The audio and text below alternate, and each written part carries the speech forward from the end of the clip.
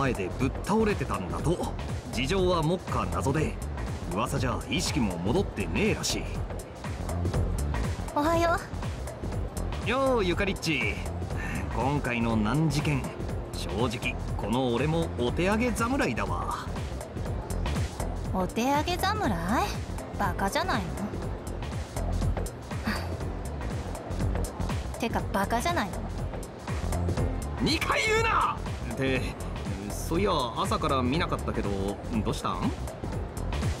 先生にちょっと話してきたの。今朝倒れてたって子実は私昨日部活の帰りに見たのよ。